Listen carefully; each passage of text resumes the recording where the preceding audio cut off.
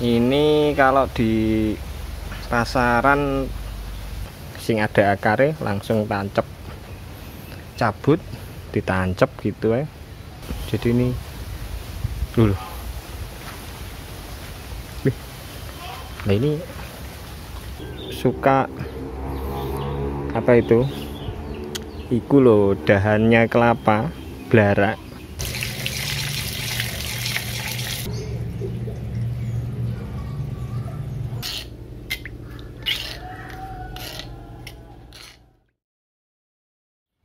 jerukku bodo rontok ya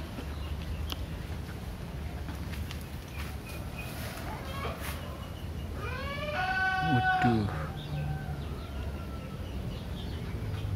Ya badowo pada berbuah jerukku dulur-dulur.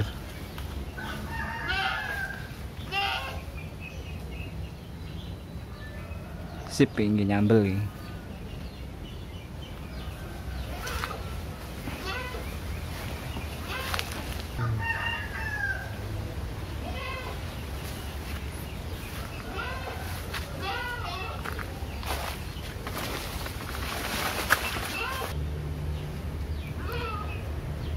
Ini bambu saya ini sebenarnya bambu hias dulunya. Tapi berhubung tak tanam di kebun jadi jadi bambu gede. Tapi lumayan. Uh, batangnya bisa untuk genter ini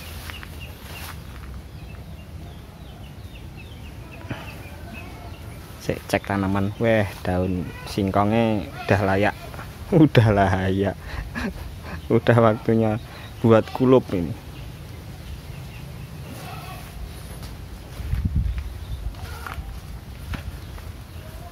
Alhamdulillah jeruk lemon sudah berbuah.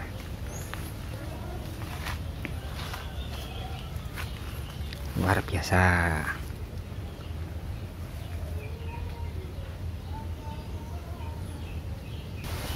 ini kalau di pasaran jeruk ini lemon ini kalau di sini loh ya itu per kilonya 15.000 itu harga jual lagi. Kalau biasa diambil pedagang itu antara 5.000 sampai 10.000 per kilo. Jadi untuk lahan cuma berapa meter ini di sekitar di rumah saya belakang rumah. Ya sekitar segini lah. Ini ada satu satu dua tiga empat lima enam. Enam pohon jeruk. Ini sebenarnya awalnya cuma satu pohon satu pohon jeruk. Terus cabangnya itu banyak. Terus ih gogrok kabeh. Ya cabang-cabangnya itu sing ada akare langsung tancep. Cabut ditancep gitu ya ternyata tumbuhnya juga bagus. Alhamdulillah nah, tapi kalau ini ini bukan bukan lemon kalau ini. Itu lemon cuma berhubung di dekat. Ini di, di dekat pohon rindang jadi pertumbuhannya kurang bagus. Di bawah pohon di bawah pohon pisang juga. Jadi ini dulu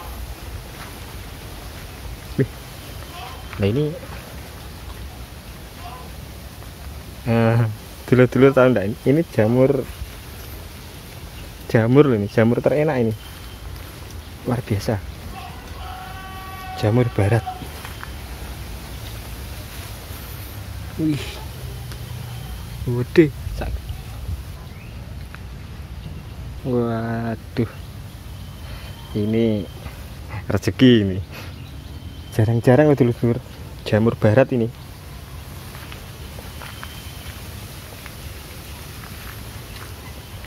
ini jamur terenak. Coba ambil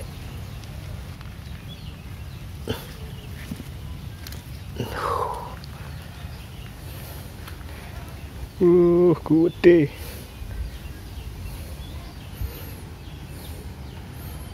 Dan masih bagus. Soalnya ini kalau terlambat berapa jam gitu aja ya. Ini udah nggak nggak bisa dimakan ini. Udah beracun jamur barat ini.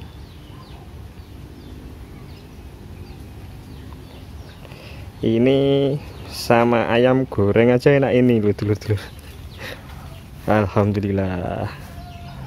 Di musim kayak gini memang biasanya suka ada jamur jamur barat yang jenis ini.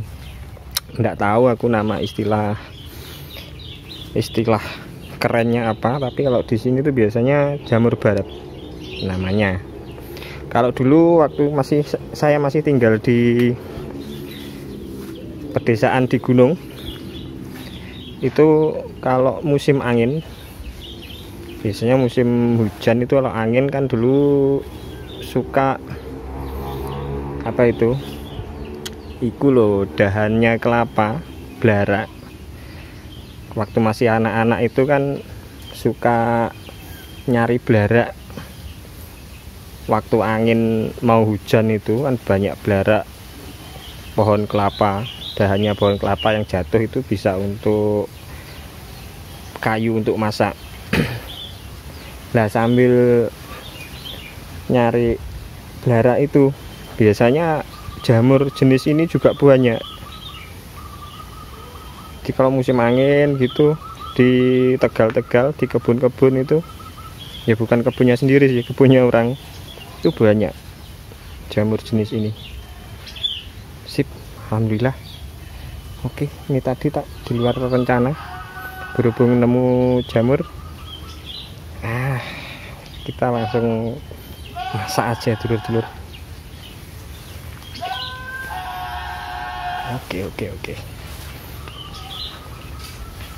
Wah nggak jadi nge-review tegalan ini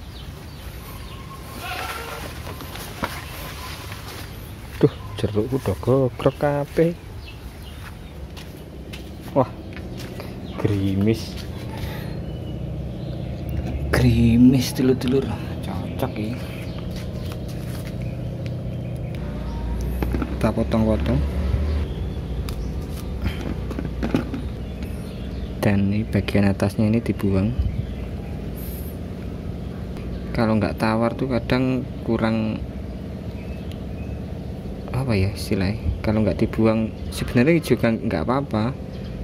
Cuma kadang kalau nggak tawar itu loh uh, di perut suka nggak nyaman. Ya istilah apa ya beracun istilahnya. Tapi nggak kok beracun gitu juga ndak apa istilahnya? Ini biasanya sini ngaran yuk mendemi lah gak gak tawar dia beracun sih. Cuma skalanya nggak nggak nggak gede. Jadi kita buang. Terenak di dunia. Widih di dunia.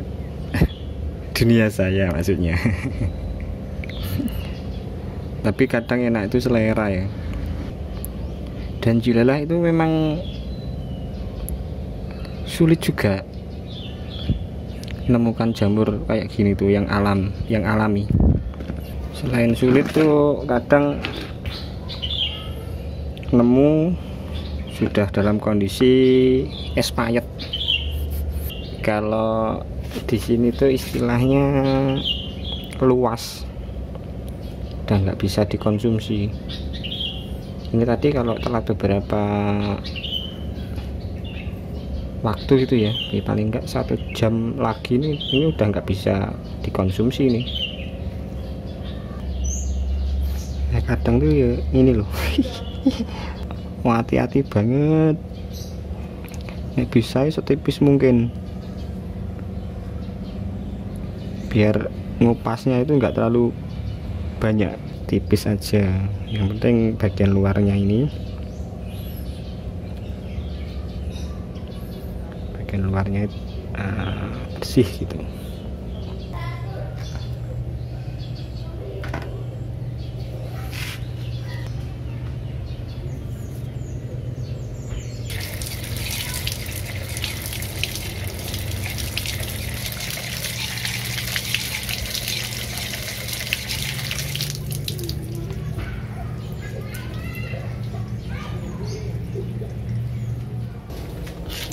jadi untuk masaknya nggak usah pakai bumbu macem-macem. Cukup pakai garam sama bawang putih. Itu aja. Terus dicampur. Setelah itu goreng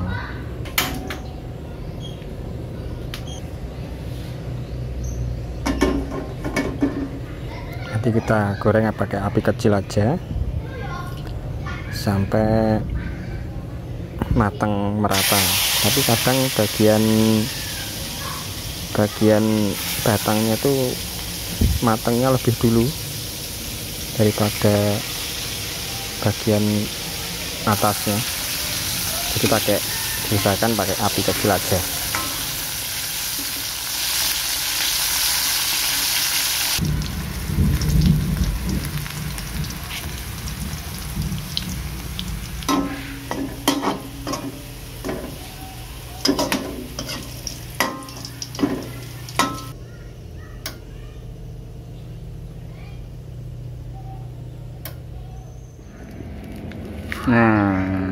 alhamdulillah ready dulur-dulur.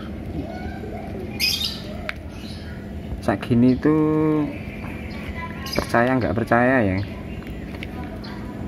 Bisa untuk 2 sampai tiga kali lauk ini. Tiga kali makan. Dua lah. Kalau irit tiga. Ini jamur barat jadi nanti dulur-dulur kalau lagi ke kebun ke tegalan terus ke tempat-tempat yang apa ya silai jadi ya tegalan lah.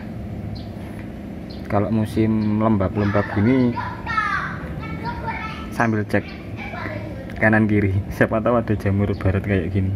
Ini rasanya luar biasa. Hmm ngiler aku ini pakai sambal bawang. Sambal bawang nasi jamur barat. Hmm, luar biasa.